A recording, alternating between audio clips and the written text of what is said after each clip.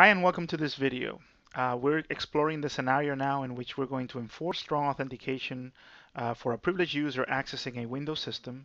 We're going to enforce strong authentication uh, when they launch an application with privilege or when, when they launch a privileged desktop. Uh, there's several ways we can implement this, right? Uh, the, go the good thing is that uh, Windows machines support smart card authentication natively, right? So when you're deploying smart card authentication, uh, you can do it at the user level, right? So, uh, you know, there's uh, good and bad with this, right? If you do it at the user level, that means that everywhere you, your, your, your user is supposed to log in interactively or over RDP, uh, either there's got to be support for smart card or there's got to be a smart card reader, right? Um, you know, the, the benefits of this and the drawbacks should be uh, self, self-evident here.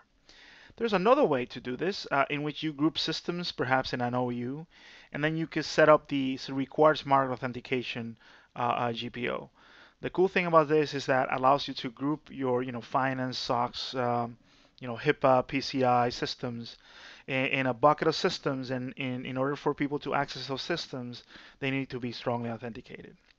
Um, so let's let's go through some uh, housekeeping here uh, we needed to make sure that first and foremost that we have a template. Uh, I've actually made a copy of the smart card user template and I've called it smart card users v2, right? Uh, what is really important is that this template should be, uh, uh, you know, from a security perspective, you should have it limited to the users that you wanted to do it. In this case, I allowed read, enroll, and auto enroll to a, a group called Smart Card users, and uh, my user Lisa belongs to that group. So if we look at the member of, she's a long member of those.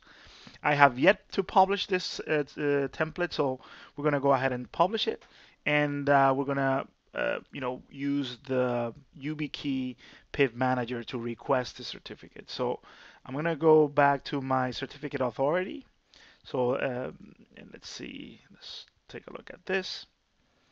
We're going to go to certificate templates. We're going to uh, do a new certificate template to issue. And we're going to pick that smart card uh, logon version 2 that I created. So um, what's important here is that the template has a name and a display name. A lot of people, um, you know, the display name is not what you're going to be using in the YubiKey um, PIV manager. So now I've launched YubiKey PIV Manager as Lisa Simpson already, and we're going to go to certificates and we're going to uh, generate a new key. Notice that it's already using the um, the container name the, uh, of Lisa. Um, we're going to eliminate the spaces here. Right, and in this particular case, the way I set up this template, uh, the um, the user's email and their their um, uh, their user principal name had to have to match.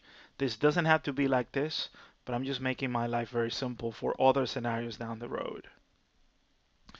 So we have um, certification authority here.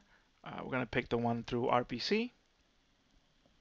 And if everything uh, goes correctly, it's going to place Lisa's certificate on my YubiKey.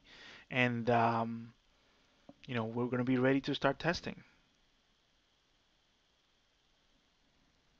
And there you go. Uh, there's a certificate in there, right? It's uh, on the name of Lisa. And in the next uh, lab, we're going to talk about how to set up uh, the, the Centrify side, right? We're going to use Direct Authorize for Windows, and we're going to define a role that has an application and a desktop, and we'll see uh, how that works down the road, okay?